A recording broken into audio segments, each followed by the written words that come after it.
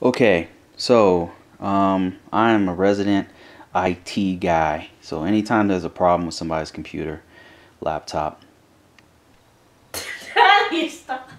laptop, whatever, they come to me to fix it. So in this case, we have a Dell Inspiron uh, 1525, and this this um, computer uh, has a common problem with the with like it looks something like this. Time of day clock stopped. And that means that the um, the CMOS battery has died.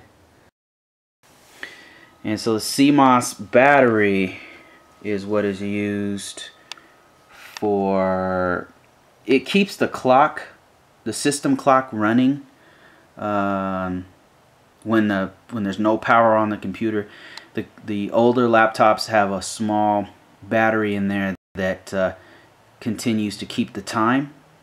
So it's like a little tiny like a watch battery that's in there that um, will maintain the time and the system settings in BIOS.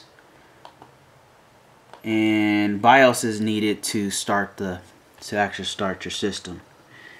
So the good news is if it's just your CMOS battery, then you can actually go on Amazon and buy this piece for about two bucks.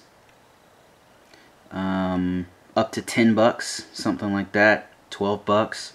It's really not expensive uh, if you have to buy, but it might be with this with this model of the Inspiron, sometimes it's actually the connect the connections from the CMOS battery that are bad and if that's the case then you have to have you have to replace the motherboard.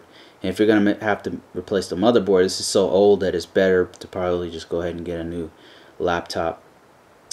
And um, I would highly recommend like uh, the that new Surface Pro from the Windows Surface Pro is pretty pretty nice.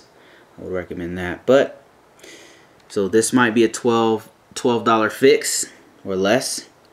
And we'll have to talk about how to fix that when I get a battery to fix this one. So that's it.